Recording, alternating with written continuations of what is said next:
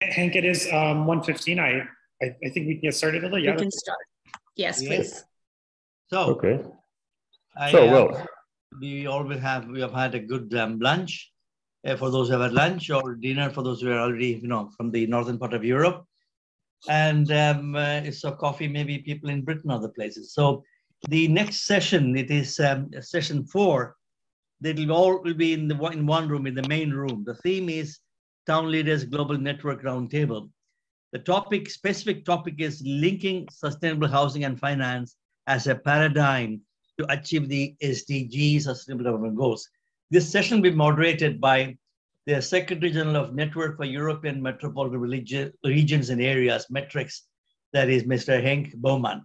He is the Secretary General of METREX, as mentioned, with the 51 member organizations all over Europe.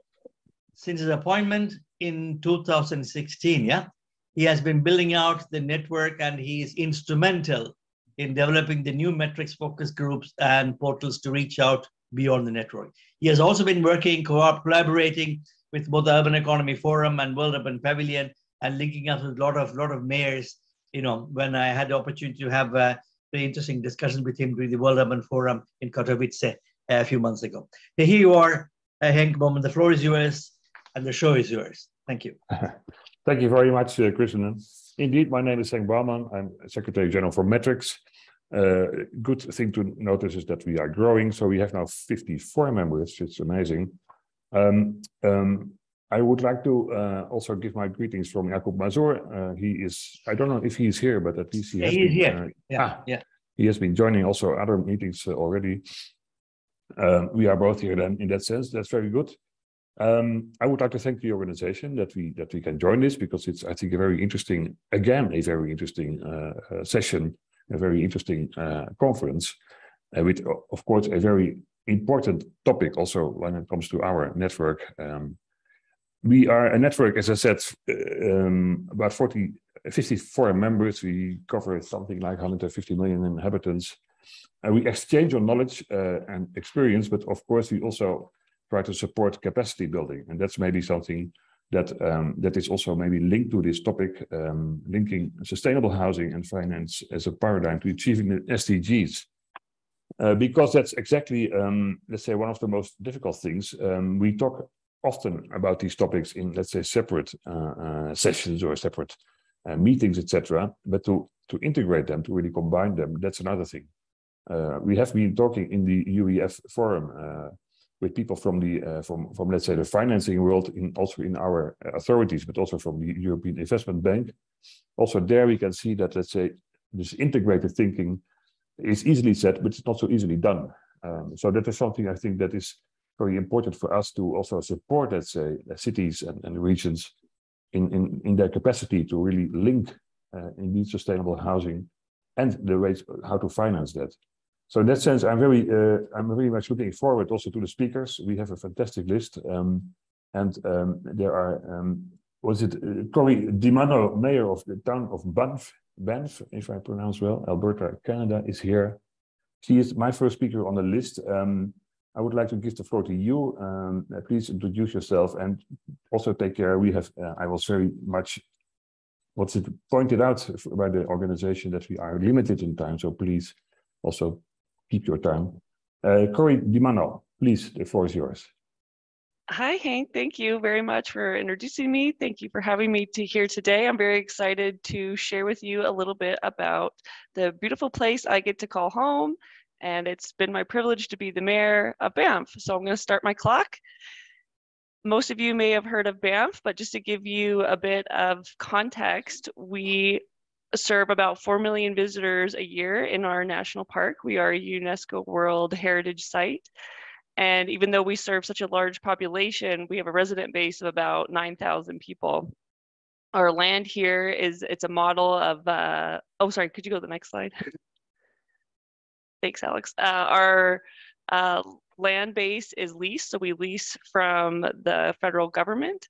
And we do have eligible resident requirements here. So in order to live in Banff, you need to work in Banff. We also have a commercial growth cap. So we have a fixed boundary and if we're seeing any kind of development, it's redevelopment here. And of course, like most tourist destinations, we have had challenges since incorporation, which was 1990, with available and affordable housing for the folks who live here. So if I could go to the next slide, we have been talking about housing for a very long time in Banff. We've been studying it. As you can see here, there are several different studies that we've done on it, but the big ones for us were in 2012 and 2014. And those two have really guided the work that's been done today. And within especially the 2014 Banff Community Housing Strategy, uh, we have put to work in five key areas that I will tell you about uh, in a moment. But some of the key findings from the community housing strategy were that land is king here in Banff and we have very little of it. So this is a strategy document that aims to bring us all together that housing is a problem for the whole community to work at. It's not just going to be the town of Banff as a municipality trying to uh, solve some of our issues. We also all agreed that data is important for accountability and decision making. And we also saw that rental units and barrier free units were underrepresented in Banff.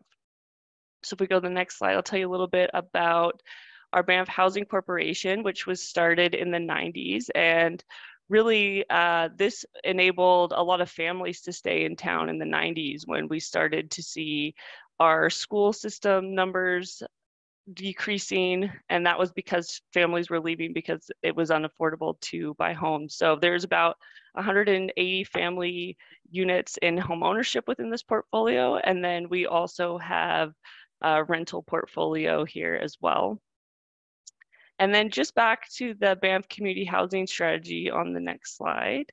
As I said, we had about 63 specific actions, but five key theme areas through this strategy. And the approach has really been based on, you know, partnerships, collaborations, education and advocacy, policy frameworks, affordability, and housing development.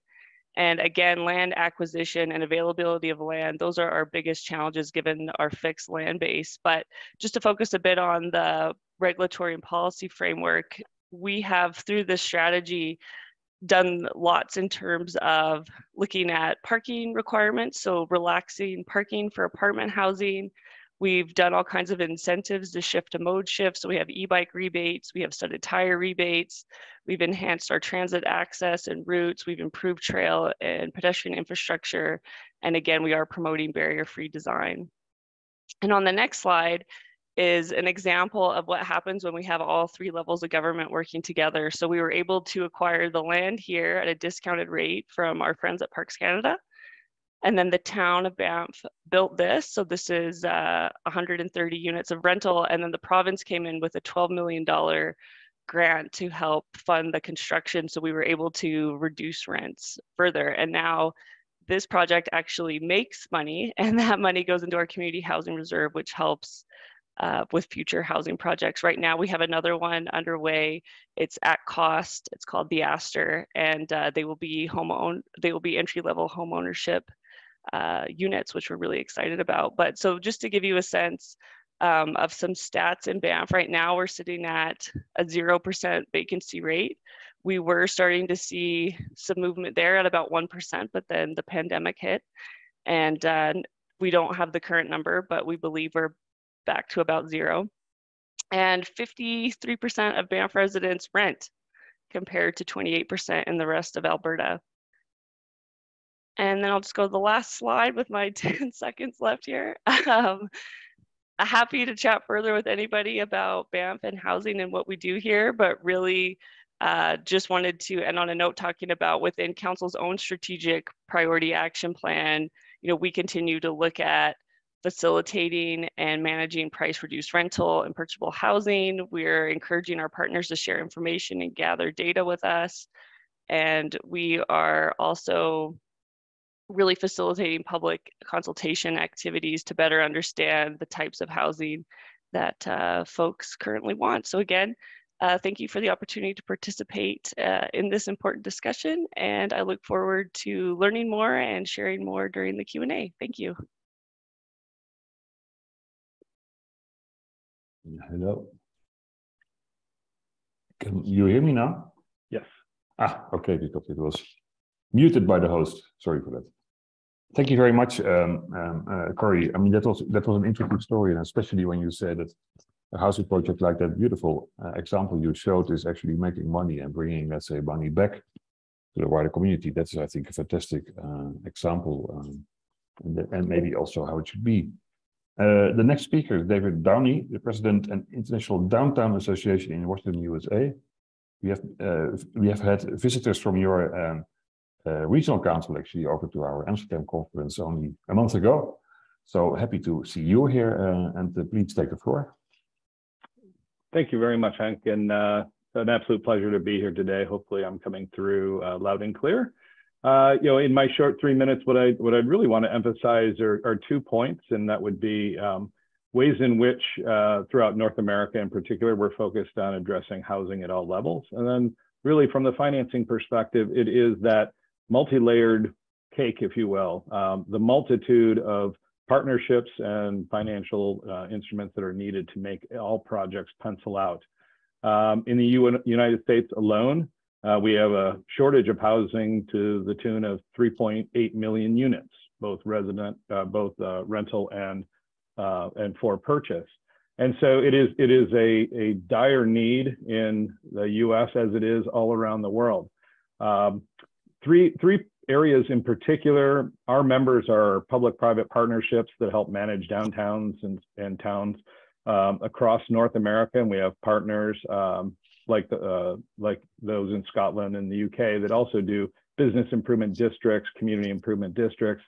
But three in particular that I would call everyone's uh, maybe further investigation towards, you know, Reno, Nevada, as well as its adjacent uh, municipality, Sparks, and the surrounding county you know, they're, they're striving to address the unhoused, a significant challenge in their region, which they uh, came together. And I think the story here is the community came together. Uh, both all of the service provision uh, civic groups, both municipalities, the county agency or regional agency, and funding from the federal government to target solving the unhoused population, both in an area called the Nevada Cares campus, which is for the unhoused, sheltered on a daily, uh, on a nightly basis. They focus on transitional housing through Our Place, and Hope Springs is a service uh, housing complex with wraparound services for those who are uh, challenged by mental health and substance abuse issues. But the story here is the partnership between government, the private sector, and uh, and the civic organizations that work together to target a solution for the community as a whole around the unhoused. The next area that I found interesting amongst our members was uh, the Parramore neighborhood in Orlando, Florida. We don't, we have uh, housing challenges everywhere, but the Parramore Asset Stabilization Fund was an initiative uh, between the NGO Foundation, the Florida Community Loan Trust, and the New Jersey Capital uh, Community Capital Bank that sought to say to understand how can we purchase uh, at a total of 1.9 million dollars 44 different properties that had gone into disrepair.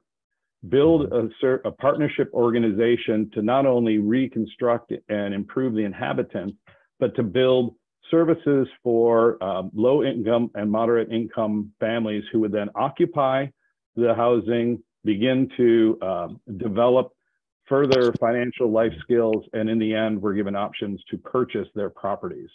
You know, again, it was this partnership and this uh, variety of uh, financial instruments that made this possible. And yet it continues to move up the, um, the housing scale, even looking at workforce housing or what I might consider missing middle housing for those even at, uh, at the 80th percentile of uh, average median income in particular, coming out of COVID, we're all looking at what is the future of work? What is the opportunity for utilizing or for leveraging underutilized space, be it office facilities or former buildings, to look at conversion opportunities. We are seeing a good amount of headway being made in places like Calgary, which is now offering from a municipal fund $75 per square foot to convert underutilized offices to other housing opportunities.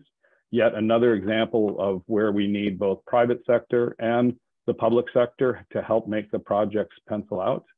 But we're also looking at the US side on how we might get the federal government to consider other forms of uh, tax credit to enable the conversion of um, older buildings, not necessarily historic in nature, but just underutilized to begin to address this significant need.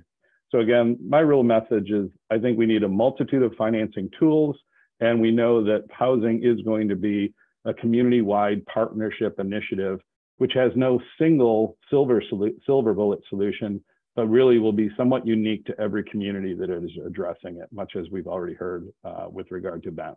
Thank you. Thank you, David. Uh, that it also sounded straight from my heart, I must say. And so it's interesting to see that you address what you call the unhoused uh, people, let's say, and, and, also look at partnerships and also build services. So not only, let's say, house them, but also indeed uh, make sure that they, that, let's say, they are sort of uh, embraced more, that's by, by services uh, to also really come further in, in the world. Um, and indeed, finance, finance, finance, that is something we will talk about later, but that's of course, um, we, we need, of course, also intelligent ways to, to, to how to finance this and how to sort of bring this to, say, those local communities. But that's something also for the discussion, maybe.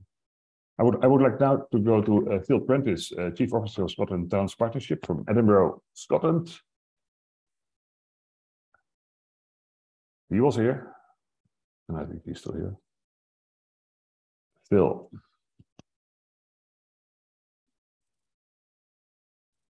Do we miss? Ah, there he is. Thank you. Where's yours, Phil? Me. Thank you. Um, welcome from Scotland, everybody. It's great to be back amongst friends. Uh, I'm going to tell you a wee bit about what Scotland's doing in terms of housing, finance, and linking to sustainable development goals. As a nation, Scotland is predominantly made up of towns, and Bamcorrie is one of those towns, a medieval town in the north of Scotland. So you've stole one of our towns, um, and small cities.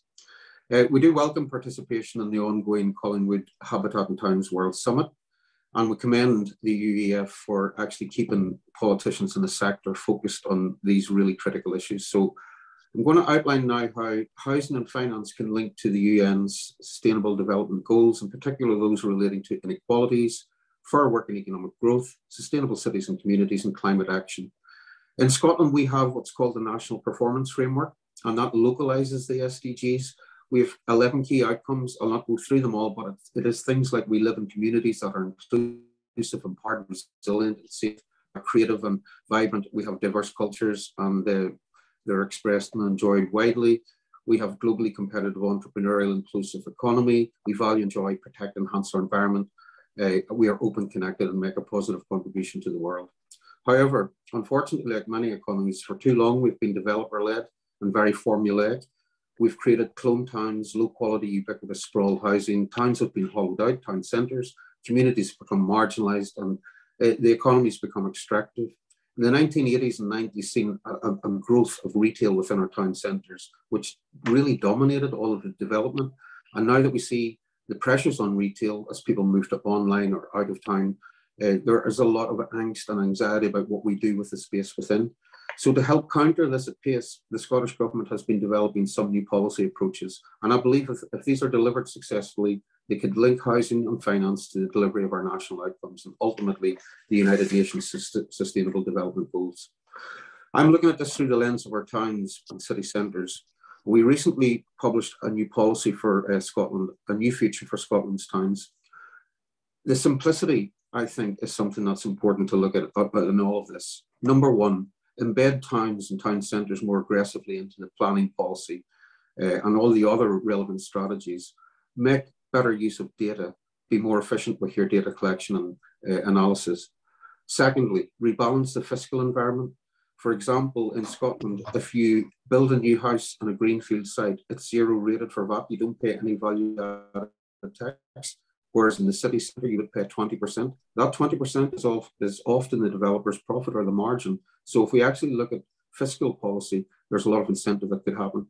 Digital sales tax, moratorium out of town, carbon tax and development, and a review of uh, non-domestic rates to incentivize bricks and mortar businesses over online extraction. Provide sustained, thirdly, provide sustained and substantial long-term resourcing. So through Scottish Government's Place-Based Investment Fund and the Scottish National Investment Bank, we are looking at five years worth of continued uh, multi-annual year settlements to the municipalities to actually start doing these things with confidence that they have multi-annual settlements to do some of the bigger, more complicated things.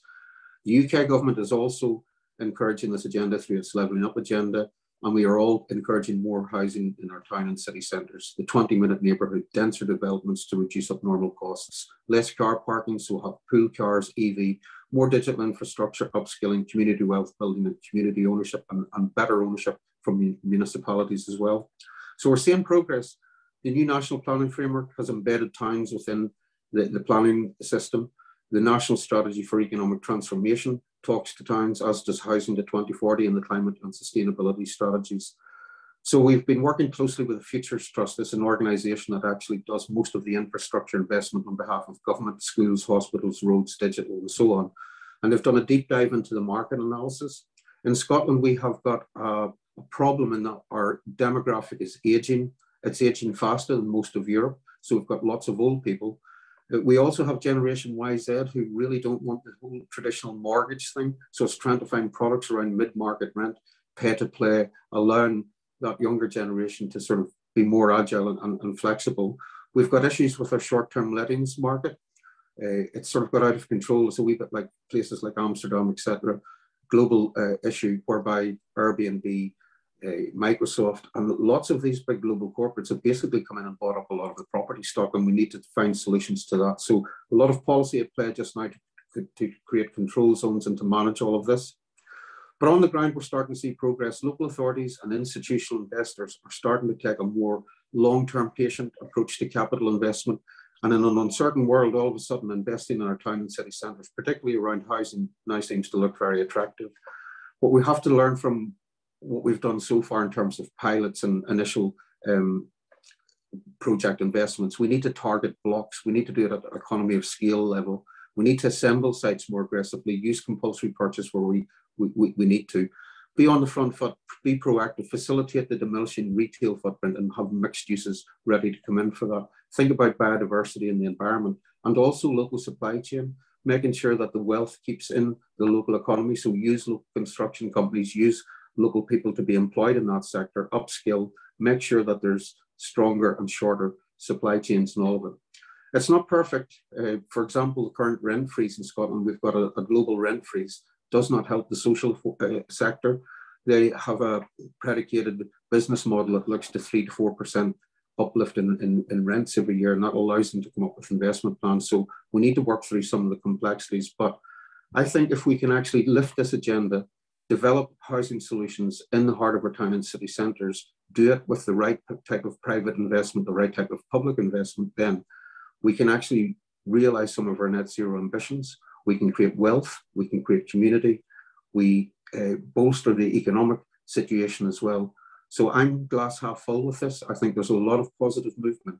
It just needs the politicians to make the right decisions and to allow us to unleash the potential within our town and city centres. Back to you, Hank. Thank you very much, uh, uh, Phil. That was indeed a very clear story, uh, glasses half full, and that's also, I think, a good uh, expression. Um, it's interesting to see that indeed you you uh, you mentioned a lot of tools that there are, um, but I think you also mentioned the word simplicity, and I think that's something also for let's say towns and cities, communities, to be to be uh, let's say assured that that also these layers of government, these authorities can also understand, let's say, what, what to do. And then, the, then it's good, I think, that there is indeed something like this Scotland Town Partnership, that there are people uh, there to help uh, also these communities. So thank you very much. Um, we now move on to uh, the mayor of Bandar Khamir in Iran, uh, Javad Mahmoudi. Mahmoudi.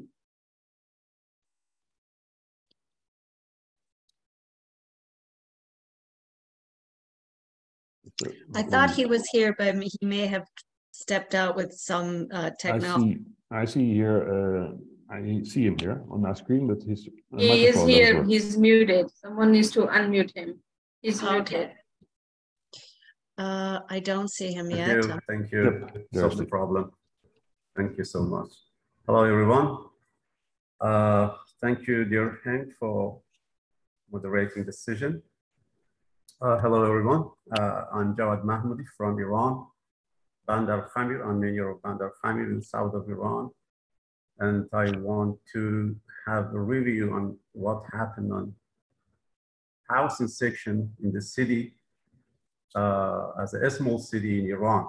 But I want to share my presentation as well. Uh, I wanted to do it myself, but I don't know possible or not. Okay. You, you can try now, Mahmoudi. Yeah. You can see my presentation? Not yet. Not? It's downloading. Ah, There there it it is. is. Okay. I have to wait. You're okay. You Okay, can you can, start from you can, you can see? Yeah. Yes. Okay. Uh, sorry. I have to start from first. Okay, I go to the first page of. Uh, I want to have uh, introduction of the city very quickly. A city with uh, 2,000 population in the south of Iran, next to the Persian Gulf and close to Arabic countries. And uh, there is there are similarities with the those countries in weather and in uh, architecture and culture. Uh, but uh, the main feature of the city is that the city is uh, located behind uh, of uh, a very big wetland in the uh, marine wetland that is the largest marine wetland in the Middle East with uh, that covered with the mangrove forest. So the city has ecological position and situation. Uh, the city has been selected as a World Wetland City uh, this year in the Ramsar Convention, the first Iranian wetland city. And also uh, because of uh, our attempts uh, for educating our people to raising their awareness about the wetlands and about the natural and environmental phenomena, we selected as UNESCO level city.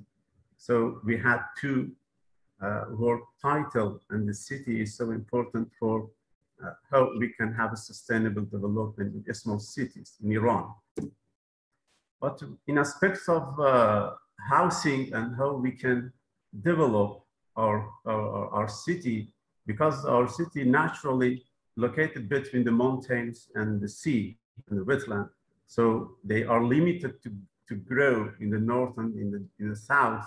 And also on the, in the two sides, west and east, we had the industrial areas that uh, restricted our city to grow. So the first challenge of our city is the limited residential area and we don't have enough lands for building new house. So uh, consequently, the uh, more people and uh, individuals and person live in the uh, old areas of, of city and we have a high population density. And also uh, most of the people try to shrink their houses uh, to, to, to make, to, to build the new houses for their children, for the new generations. And also we have high price of land because of the limited amount of lands in the city. We have an unusual price in the city. So our solution is uh, our, our, solution is to uh, using the maximum cap capacity of our lands in urban area and, and how we can prepare them for building new houses.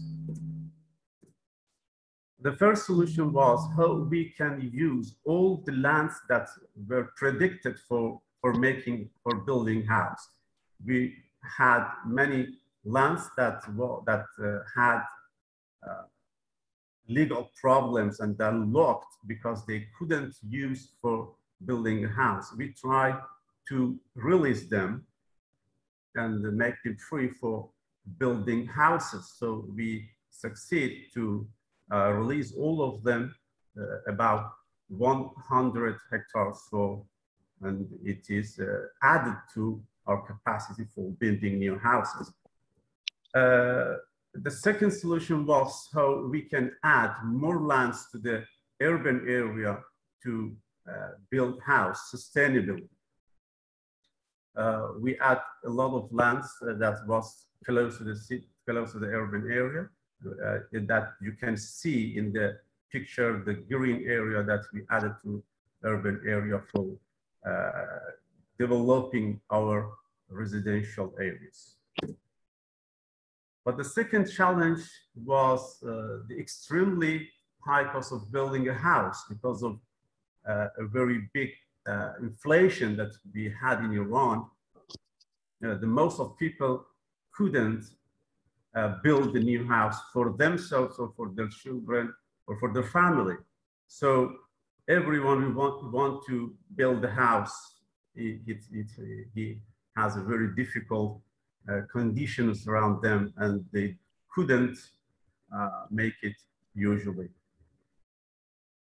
Uh, because of this uh, expense of uh, the building, we have uh, increasing in the house rents and also we don't have enough houses for rent for people because most of people against of building a house uh, prefer to rent a house. So there, there, there is a problem for finding new houses for rent.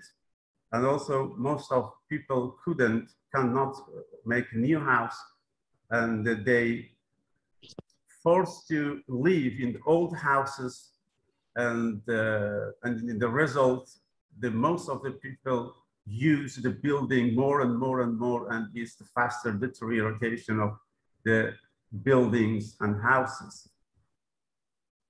And also we have uh, the problem of forming some inefficient and unauthorized settlements around the city. That is a very dangerous uh, phenomenon that uh, because the people need shelters and they, it's, it's the basic uh, needs of anyone. So they uh, try to have a very informal, uh, non-formal houses. But our solution was how we can provide and suggest some financial solution and support for the people by using the capacity of government or public organizations.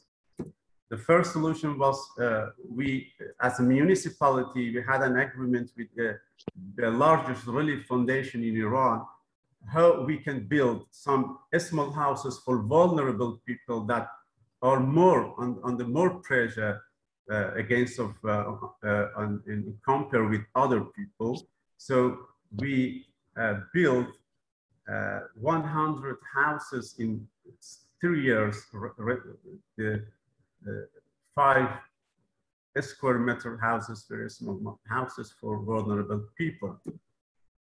And uh, we use the capacity of government that they had a plan to uh, building a house for the, the, the youth and the uh, people that, that they don't have house. The national housing movement, the, this um, plan uh, suggests free land and uh, provide free lands for people and a suitable mortgage and we can, they can uh, uh, have a, a, house. The second, the third solution was how we can support some cooperatives that are active in housing fields. Uh, they uh, build and deliver houses with suitable financial conditions for the applicants, and most of them uh, are employees. And the fourth solution was how we can uh, repair and restore the, the old uh, houses in the historical and old part of the city, how we can uh, revival them and, and make them for using more and more and more. This was the, so, a quick review on what happened in uh, sustainable housing and finance in Bandar Khamir, Iran. Thank you so much for your kind attention. Thank you, Javad. That, that was, I think, quite interesting uh, to see that also the city, a relatively small city, is investing so much time and attention and money in, in really improving, let's say, the housing conditions for also the more vulnerable people in, in your city. That's great to see. Um, uh, but also there, I think it needs financing, as you mentioned, uh, financed by also the national government, but also the, what is the foundation. Uh, those things um, might indeed be even more necessary uh, and might improve, have to improve, to make it even even more possible to, to uh, for, for more people. Um, finally, I would like to go to Emmanuel Ketukwe. He's from Nigeria, um, Metromex International, and the River State chapter of Nigerian Institute of Town Planners. So please, Emmanuel, uh, take the floor and, um, and tell us what, what the situation is uh, in your region.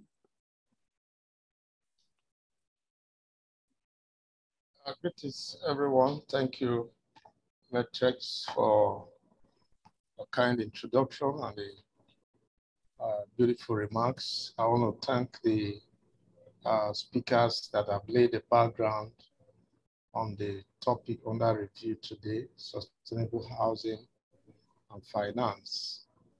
Uh, housing is at the center of the delivery of the sustainable development goals.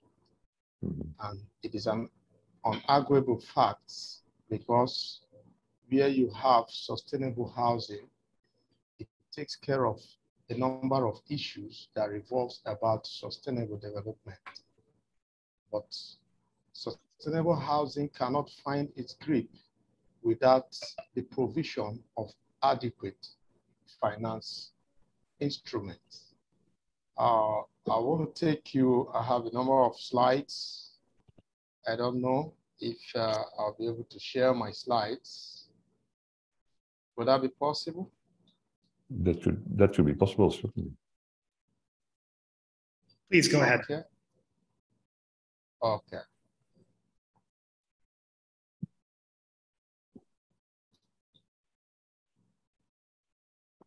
there it is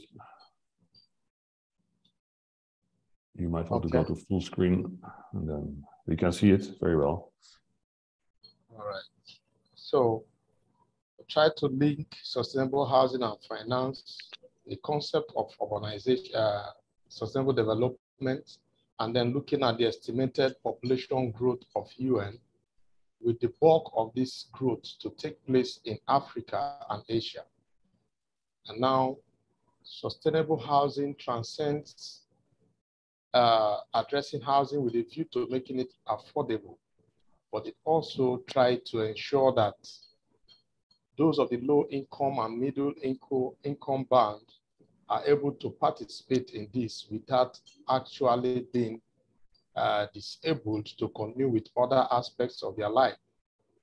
And I tried to draw from the Nigeria example here in uh, Nigeria, finance has been one of the bane to sustainable housing in Nigeria.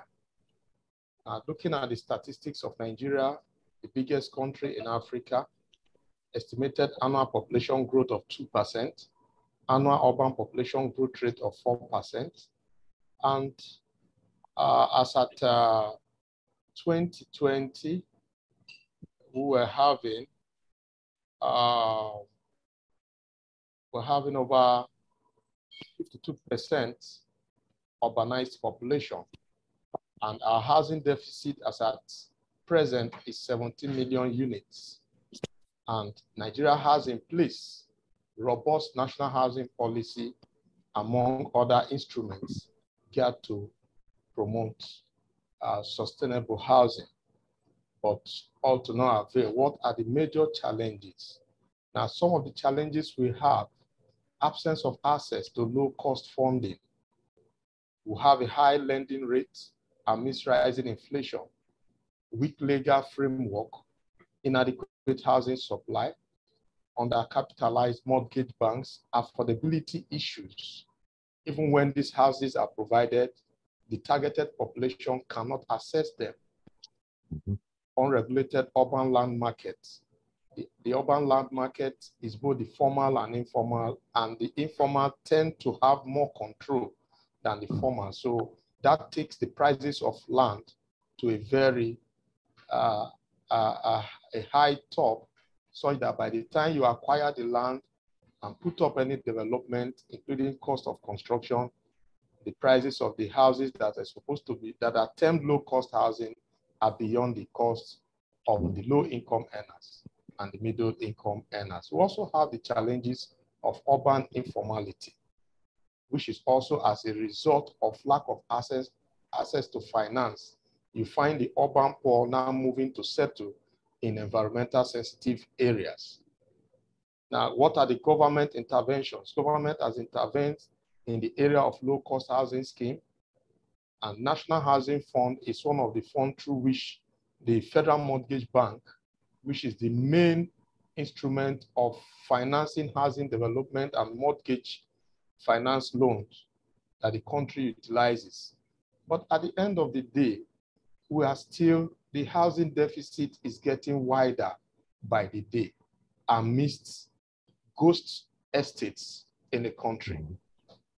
Now, most of the private estates you see, beautiful houses, no occupants, all because of issues of, affordability. People cannot afford the houses. Now, housing in Nigeria, what are the challenges? Looking, looking at it, why are we, where are we where we are? Now, in terms of building, our building construction materials have remained concrete block and mortar. And most of the materials we buy for our we use for our finishings, they are imported. So at the end of the, the day, all this contributes in increasing the cost of housing construction. And it also affects the rental value of the houses. So all this put together, you see that even when you are able to assess the loan to construct the buildings, it could not achieve the purpose for which those loans were made. Today in Nigeria, the interest rate to get housing finance from the mortgage bank is 6%. But how true? How true is this 6%? What are the assurances that at the end of the day, you'll be able to pay back these loans that spans for a period of 30 years after the first down payment of 10%? As a result, today, a number of what the government tend as low-cost housing have eventually ended up in the hands of the rich. Have ended up in the hands of the rich because the low income and middle income uh, earning band that were targeted cannot. Now the rich have taken over those housing estates and are renting it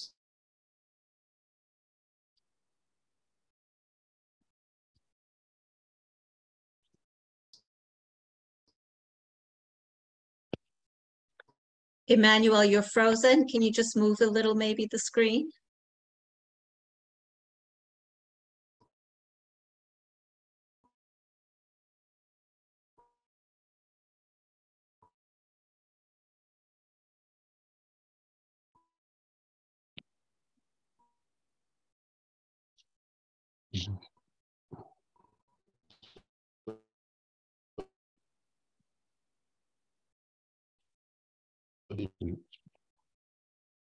Very bad connection, I'm afraid.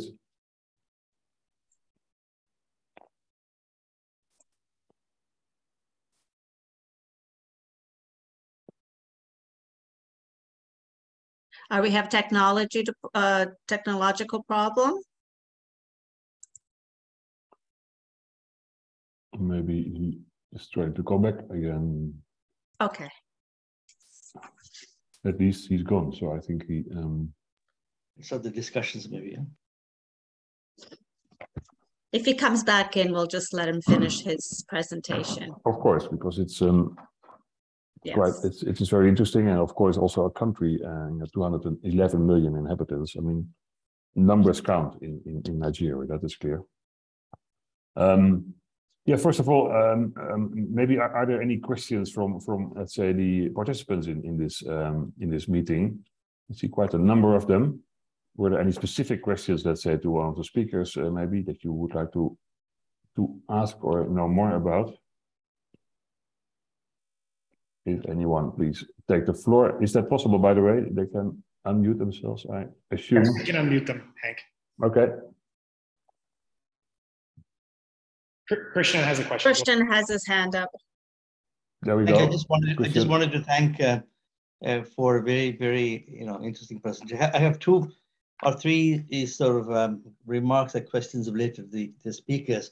When it comes to um, the the uh, the housing situation in the U.S., um, David talked about um, repurposing, conversion uh, of of uh, un- underused, unused houses i- into uh, buildings into houses, kind of a thing. Is there sort of specific funding from the federal government, like the uh, like IRA kind of thing? Is it something that is being used for that, or how does they do the what is what is the role of financial institutions in this respect, or do the people who move in have to pay the uh, cash for repurposing these buildings, or will they be repurposed before they move in? Uh, what kind of thing? It's sort of um, maybe I don't know to what extent this idea of um, social housing in this context can be used. And then is it something that we have in uh, smaller cities or also it's a phenomenon that we're looking into repurposing after post-COVID situation in bigger cities as well? Then in the same way, I can also sort of uh, finish my questions about uh, the Scottish situation, where the, the, the, they talked about the housing, you know, shortage. Um, the government said they're going to about 50,000 buildings will be houses will be built and built and kind of things. There again, what is the role of the cities, municipalities? Do do they, do they, is any funding come from the cities? Like in the before Thatcher times, the cities, there, were- there were council houses that were given to uh, people who needed them. And so then they were all sold. Is the council, council housing concept coming back for affordable housing schemes? Then my last question is to um, uh, Mayor Mohammadi. Uh, I understand that um, uh, the, the, the, the question of linking up your city as one of these um, world, uh, what should I say, knowledge cities, I suppose, yeah? Is it something linked to SDGs and housing as well in that context? Uh, are you looking into uh, vernacular architecture or the knowledge cities that UNESCO wants your city to be is related to other SDGs? Thank you. Thank you, Christian. That, that was a whole series of questions. I hope the speakers uh, uh, took out, let's say, the question which was pointed out to them. I think the first issue was about the USA, and maybe it's David Downey who can help us in, in answering that question. Certainly, and thank you for the question. You know, I think over time there's been a, a number of, of solutions for conversions. Most re recently, we're asking our federal government to consider a tax conversion credit mechanism um, that would apply throughout all cities across the United States. That would be a federal tax incentive that would then go to the development uh, entity to assist in the conversion costs, which I think we all recognize are significant, um, especially with supply chain and inflationary uh, impacts as of late. But we have also seen historically where the same approach was taken in the late 1990s and early 2000s by the state of New York, who then provided an additional tax credit. And that led to much of the redevelopment after 9 11 in lower Manhattan converting from largely just office to a mixed use development, which I think is what we're all aspiring towards for complete communities. More recently, um, it has been the city of Calgary having received fundings from the provincial government, who are then allowing uh, for this $75 per square foot uh, financing um, offer to private development to help bring the cost of that uh, conversion down.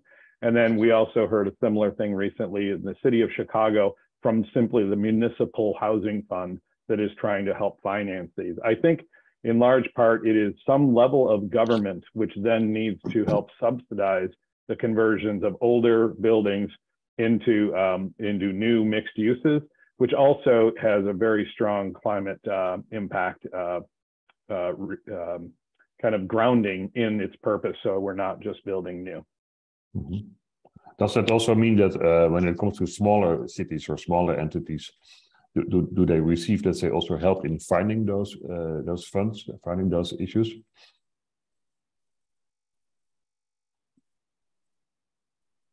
Oh, now you're muted.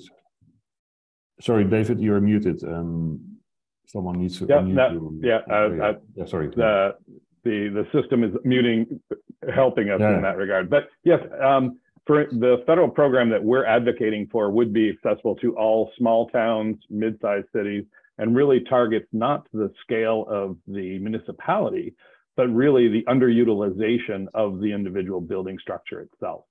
Okay. Hmm. I hope that answered your question, uh, um, Christian. Um, yes, thanks. Thanks. You must help me with your next question. There was one to Phil Prentice to Scotland when it comes to the uh, estate, uh, uh, let's say the estate housing. Housing, housing. Council housing and estate housing that was in the old days, but how is it now? Uh, Phil, can you maybe? Yep. it was a big mistake to sell off the council stock and we are we have been on the back foot ever since. What I would say is the market across the country is not ubiquitous. It's not a homogenous thing. There are lots of towns and cities that are actually doing pretty well. So there is a, a flow of commercial investment and social investment into housing. But where the you have subprime market, it is very difficult to get it to stack up. One of our advantages in Scotland is that we have a network of social housing providers. So again, heavily subsidised by Scottish government through affordable housing. And we also rely on the private sector. So for every time a housing development is consented, the private sector have to build 25% affordable houses. So at least we've got uh, you know structural mechanisms to make sure there's a reasonable amount of stock moving forward. So yes, uh, Mrs. Thatcher has got a lot to answer to, but then so does uh, the, the, incumbents that are in just now. I don't think they're much better. mm, no. Indeed, and I think there was a final question also to Javad uh, Mahmoudi uh, from Iran. Yes. Did you note down the question? Uh, yes, uh, I want to have a, an explanation about the question. Uh, the, uh, it was about the learning city, as the, in the question mentioned. Learning city means that a city try to solve their problem or their issues with uh, concentrating on learning and educating their people. Okay, it's the concept of learning city that UNESCO introduced in uh, recent years. Uh, and Bandar Khamir uh, has a, a, successful background in how we can participate the citizens and people in social decision making and raising their awareness about the, the, the, city's issue, especially in environmental issue. Okay, because the city is the uh, very uh, sensitive ecological uh, location. Uh, but we prepared a, a very comprehensive plan for our learning strategy for, for the city for many fields, for all fields from the formal education to tourism to sustainability to, uh, for example, for, for, for making jobs or something else. But in sustainability, we have some plan and program to, uh, uh, to, to familiar our people with the, some topics in, in sustainability, in housing especially, such as uh, how we, they can use energy in, in or clean energy especially, how, how, how we can improve our energy consumption in our city, in our, in our house, or how they can use the gray water in the housing. Oh, uh, we have many plans, many programs for encouraging our people to, to grow, to develop the green spaces around the, their houses. And we had a lot of activities about that. That was about the learning city and how we can link it with the housing and uh, citizenship education. Yes. Thank you, thank you, Javad. Uh, that that was a very clear explanation. I think a very, very clever and very intelligent way of also um, putting this learning aspect into into the housing issue. What what I have heard a lot, let's say, uh, in most cases, is the uh, the issue about land value or let's say land prices, which in some cases are, are let's say given by by maybe a topographic situation, like in, in your case, uh, yeah, with the mountains and the sea, let's say it is a bit constrained. But in other cases also, uh, where maybe uh, land ownership is an issue, that, that people who own the land, let's say, see of course a big need and um, and then uh, yeah ask the more money for it. That's simply the market. Are there in general, let's say maybe from you, but also from others, um, are there, let's say, ways to to tackle that? Um, uh, are there ways to get around that? Because of course, you know, when the land is when it starts already with very expensive land, um, you know, how do we then in the end also make affordable housing? I don't know if you want to start, Javi, but I think I'm also interested still in, in Emmanuel because I think the, story that stuck stuck with he he is back as far as I see. But maybe Javad, maybe you can say something about your situation. That's very that's very physical, let's say, constraint in a way that you that you face in the city. Yes, our city, as I mentioned in my presentation, is very limited. And the, the, the, the, topic of sustainability is very highlighted in our city, you know, because when we want to have a plan for growth, for developing our city, we encounter with some restricted laws uh, that we had in, in protected areas, especially. Mm -hmm.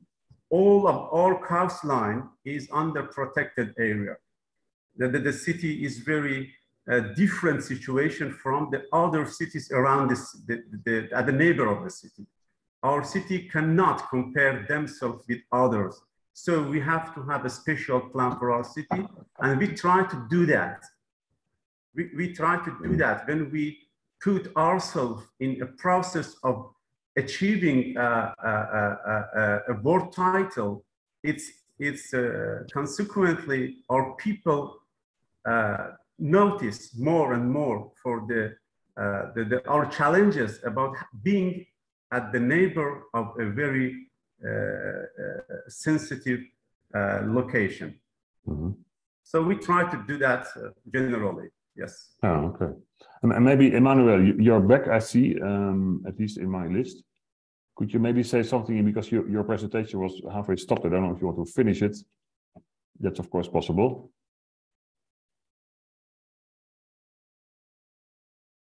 Or did he now disappear again? Um, sorry for that.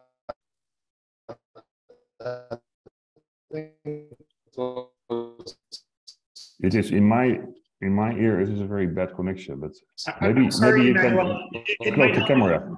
It might help if you turn your video off, Emmanuel. Okay. All right. So the, the land speculators are the ones that are always at the forefront. And by the time they grab these lands, when developers come in to develop, the community will now be interested with the value, the, the amount that the land speculators are now asking from the supposed investors. And this always set in confusion in clearing the way for development to take place because you have a lot to settle families, communities, and all that. So that tenure problem is one issue that has been a bottleneck to housing development mm -hmm. in Nigeria. And even recently, the House of Assembly, they are making effort to look at the Land Use Act to see how they can unbundle some of the Uh, uh, laws that they have enacted there in order to, to free out lands so that people can, developers can easily access these lands at a rate that will be mm-hmm. lower and for development at the end of the day after housing construction, it will also reduce the cost of construction and maybe make it afford affordable to low income and middle income earners. Are there other examples uh, from one of the speakers or maybe someone from the audience in terms of th this is clearly an example where uh, yeah, obviously also the national government needs to do something, needs to let's say create policies to to um, yeah to handle to tackle that issue. But are there other examples for that? Because it, it's a very basic issue, of course, the land uh, price and land availability. So maybe something from um, from Washington again, David Downey certainly, um, I guess I would say from, from a North America, it's less uh, natural constraints uh, to availability of land and is, is more often political decisions. Um, I think one of our biggest challenges is to convey and educate the, the, the impacts of climate change, the impacts of uh, lower density development, the extraordinary cost uh, per acre um, is something that most municipalities are struggling with.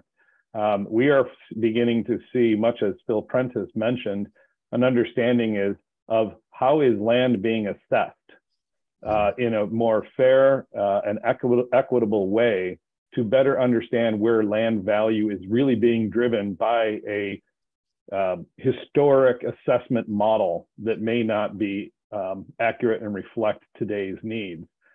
By example, in the 1970s, half of the population of North America um, was families with children, and the other half were adults, uh, single or couples with no children. In 2025, that's going to be closer to 75% households without children. Mm-hmm. And yet, we are 62% of our housing are single family detached residents. So, just from a policy perspective and not just uh, market demand, but understanding how to make those difficult decisions in light of future projections so that when municipalities do have access to land that they either own or can acquire, that we are also equally um, comfortable making those higher density demands of the redevelopment project.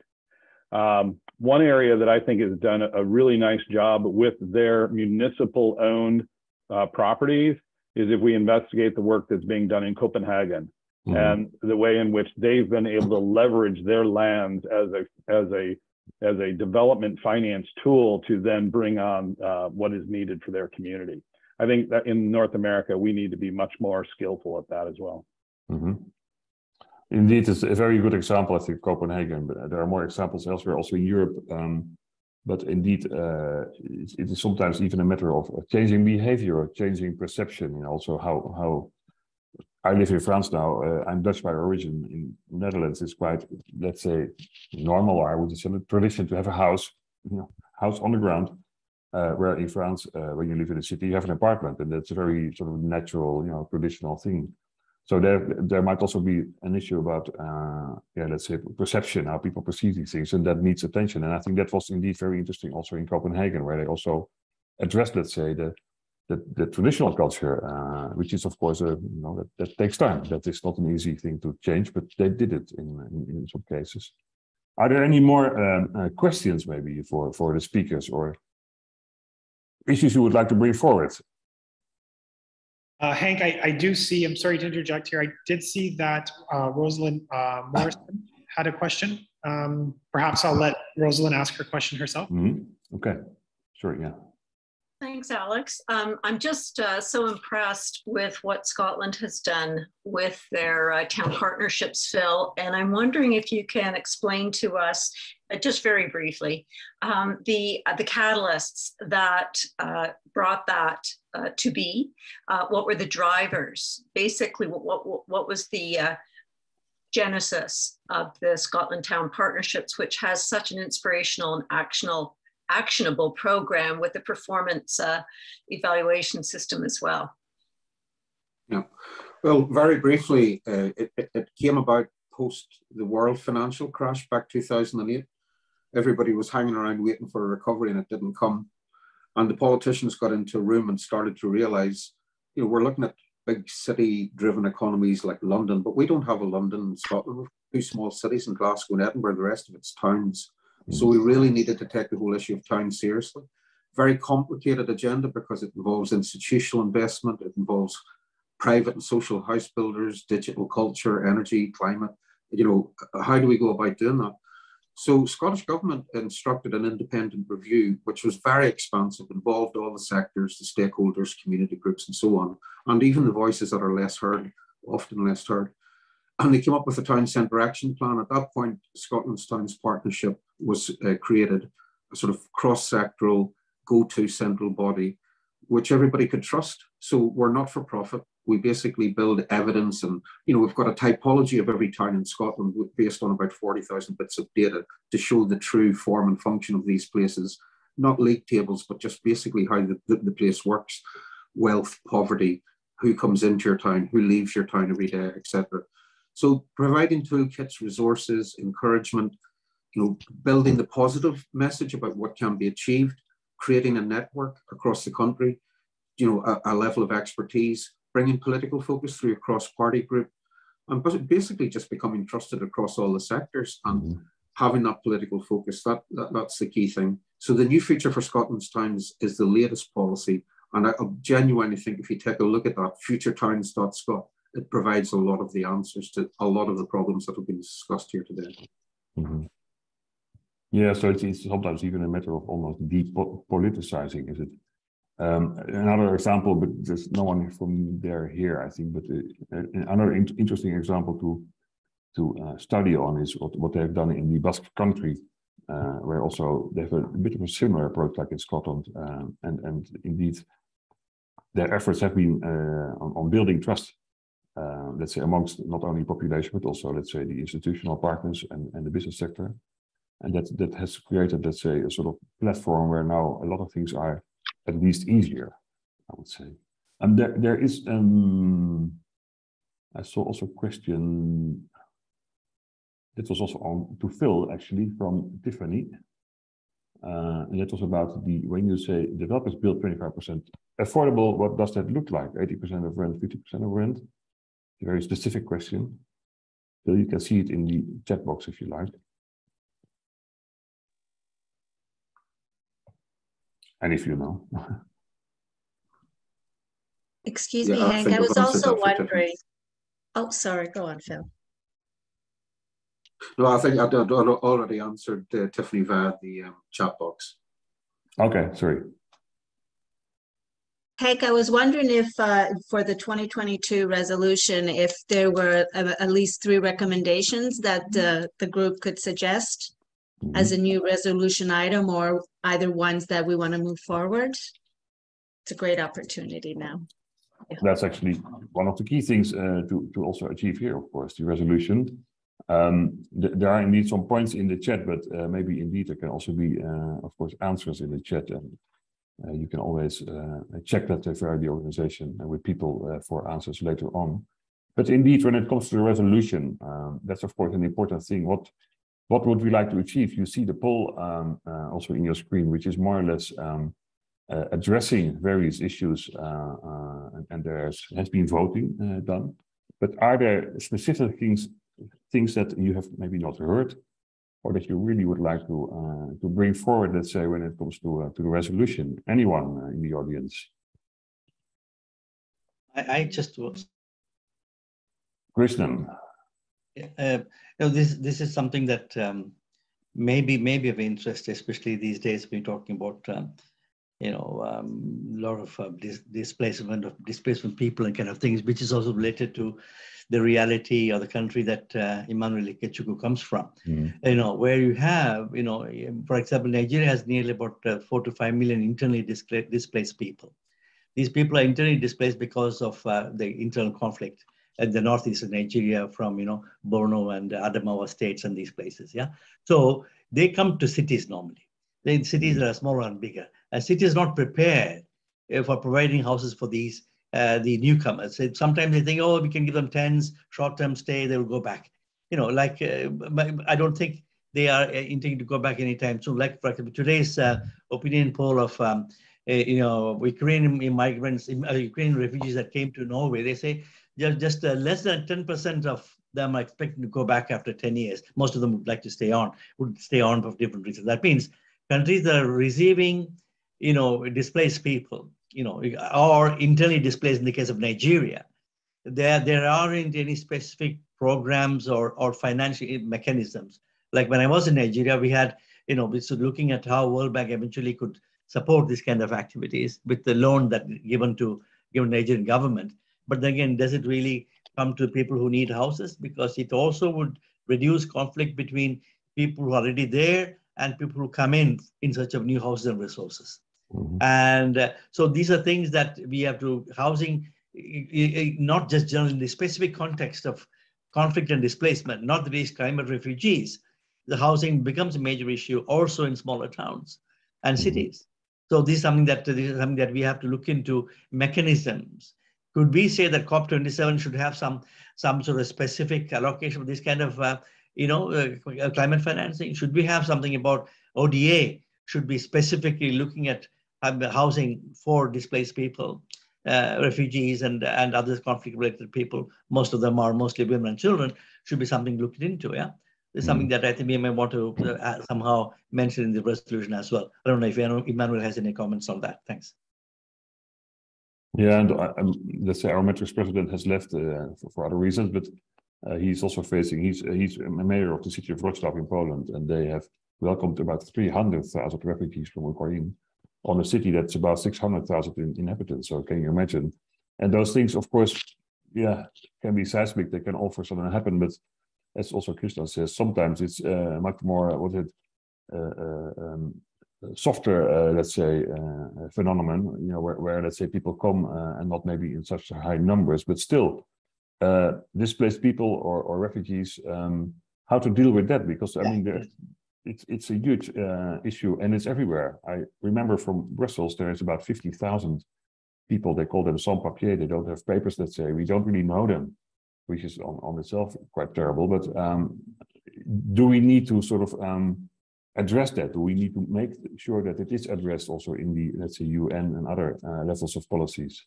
And I think you mentioned uh, Emmanuel um, uh, Krishnan. Is he still here?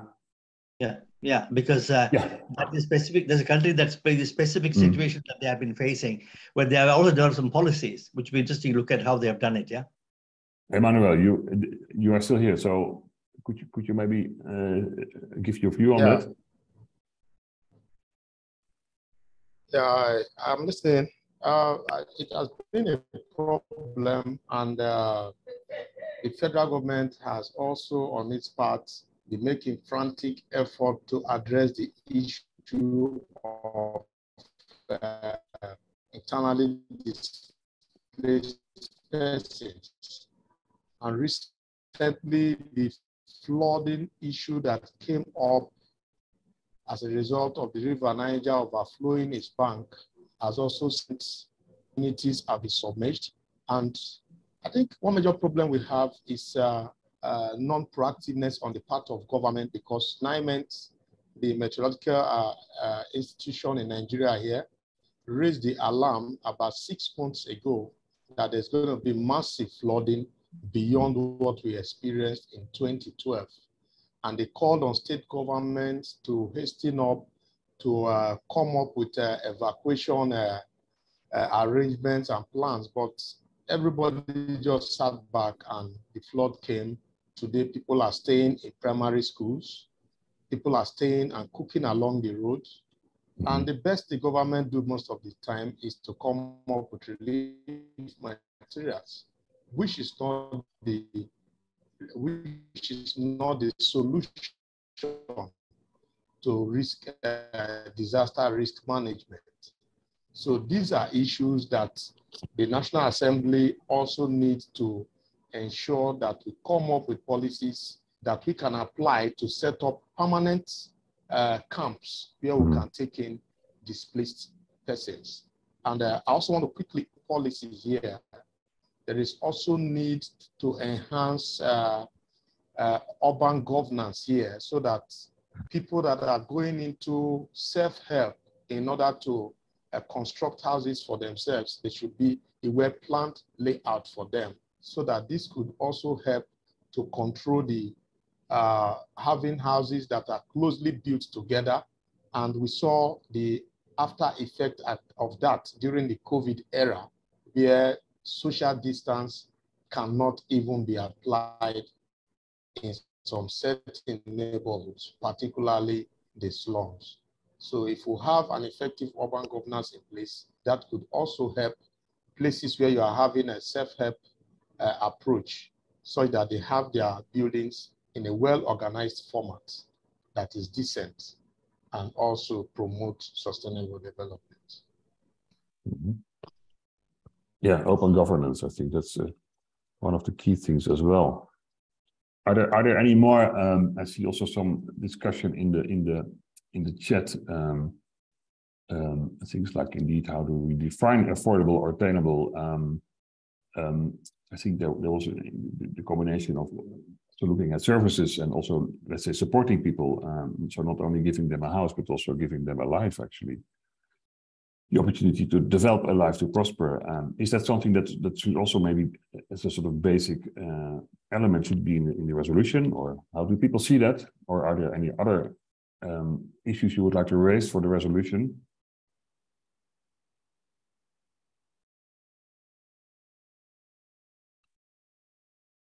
Anyone from maybe the organization also? You have been thinking about it for a bit longer. Sonia has her raised, uh, hand raised. Ah, sorry, Sonia, here in the top, yeah, Town of Collingwood, here we are. Sonia. Thank you. I, uh, I, I, if you have time, I always find it a very interesting uh, conversation around sort of who's paying for what with respect to affordable housing, because I think it is a catalyst for the achievement of SDGs. And a number of things just keep swirling around in Collingwood. Um, one is uh, actually raised by our provincial association of municipalities, which was our land, our land taxes or income taxes best suited for um, funding um, affordable housing, i.e. is this a redistribution of income or is it a redistribution of, you know, what you've already paid for your house? And I know that might not translate well really internationally, depending on how tax paradigms, for example, might work. Uh, but that's one part of the question or one part of the, the piece what I would be interested in, in, in input on. Another part is um, uh, we have many businesses that uh, we very much value. And a lot of those businesses require some people at lower middle levels to run them, of course. And this is a workforce housing session, so everybody knows that. And then I struggle a little bit with um, uh, just the public policy question around is it those businesses and the wages that they pay uh, and thus the prices they charge the public um, that should translate into affordable housing? Or is it in fact the municipalities and other government entities or not for profits for that matter um, that should be filling the gap where wages can't and I know those are impossible questions, but I think they're really important questions. Um, and I'm just wondering if anybody's done, anybody on the session has done research in this regard or has strong opinions. Thank you. Thank you, Sonia. I think that those are very good questions, good issues, maybe not so easy to answer, but indeed, uh, on, on your last issue, uh, of course, you, we, can, we should also not forget what, what was in the past in terms of where also businesses, let's say, developed uh, uh, housing areas. And, and there are many famous examples, I think, in the UK, but everywhere, I think, also in Europe, um, where businesses are sometimes also taking that up again. Um, and that is maybe affordable, but let's say for the whole range, because in general, you see there are quite a number of places which which have a problem, let's say, attracting a, a good what is the workforce, uh, uh, whether it's on the higher level or, or, or the lower incomes, but they're all needed. So is, is there indeed anyone who, who has more recently maybe been, looking at that? I can tell you that we have a fellow actually in our METREX network uh, that is doing research on that, PhD research. So I can share them, but that's not finished yet. But maybe there's someone else who can say something or maybe uh, agrees on this, uh, something to further develop. There is an, a remark from uh, Corrie DiManno, the first speaker, um, in the chat. We require our commercial sector to contribute to housing through either building or providing cash in, in lieu of housing. Maybe I don't know. And there's a there's a, uh, a link as well. I don't know if you want to say anything more about that, Corrie, but there's, I think there's also a link. Thank you for that. And by the way, also Alex Venuta has um, has shared, let's say, the um, the resolution text, which is on a, accessible on a Google page, Google.com page. So please have a look. It's important to uh, to have that right to also have your input for that. There's also a long remark from Rosalind Morrison. Is there something you would like to to add? Let's say uh, just say uh, that, uh, Rosalind. I just wanted to echo um, presentation by Randy Scherzer this morning. Um, excellent presentation by Grey County mm -hmm. on how to define the number of units we might need in Southern Georgian Bay using a system called the HART system. Um, you know, affordable housing, 30% of gross household income is universal in Canada as the definition. We don't need to get confused about it. Universal because it doesn't matter if you're making 20,000 or 200,000 a year. Mm -hmm. Uh, using uh, Randy's presentation on the HART system, we can figure out the data um, with the 2021 census on the number of units we actually require here as an example. Uh, the reality is we need a lot of rental units and uh, it, it's really great to understand what problem we're trying to solve um, for us here in Southern Georgian Bay. Thank you. Thank you, Rosalind. Yeah, that was a good addition, I think. Anything uh, more from uh, the audience, please? Anyone? This is Dave Downey. Um, I would just add add to what Rosalind is saying um, because we too use 30% as a, as a marker that is universally uh, attributable. However, um, if we also look at housing plus transportation, then we also need to be thinking in terms of not exceeding 40%, which then goes to the question of how do we better make the the small town density um, argument so that we can get the the multitude of housing in the density that's needed without pushing way outside and creating um, undue hardships, especially for the service economy, to then also be available uh, with a reasonable transportation um, solution. Mm -hmm.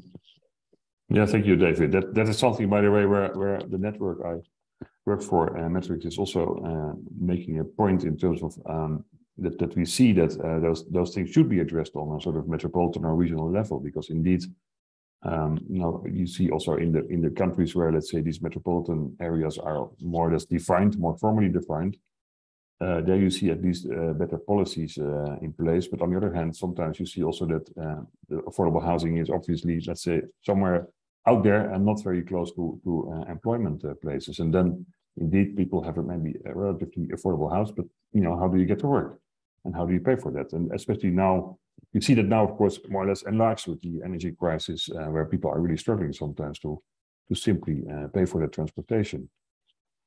Anyone else, uh, please? Um, um, I just, this is Vishali, and I would like to uh, comment on, I would like to ask a question on Corrie's comments.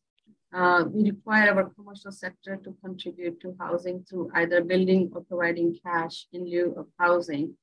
Does do you, Corrie, do you mean what do you mean by that? Do you mean by community benefit agreements when we make an agreement with the developer that part of the revenue will go towards low cost housing? You, is that what you mean? Or is this so, the benefit? Yeah, go ahead. Thanks. So we call it our basically anytime a commercial business either starts up in Banff or does a change of use from retail to food and beverage, that type of thing, we have a calculation that determines how many housing units are needed. And sometimes if they're changing that change of use, they actually get uh, a credit on that site. But uh, often they will need to either build the housing units required for that business or it let's say they're a mom and pop shop and you know like i said earlier land is very unavailable here. It's very mm-hmm. expensive to build. Then they can do it through providing cash in lieu. And so that money goes into our community housing reserve that i briefly spoke about earlier that the revenues from our rental apartment is going toward. And then that reserve currently it's sort of being held as we look at one of the last uh, developments the town of banff could potentially be doing uh, from discounted land that we purchased from the federal government. But if you flip through it, it the the link I have there, it it sort of lays out exactly how it works. But that's my uh, understanding of it. Thank you, Corrie. Um, indeed, it's good to. Are these uh, documents? It's a question for the organization. But these these links will be available later on as well. Can people see those? Check those things later.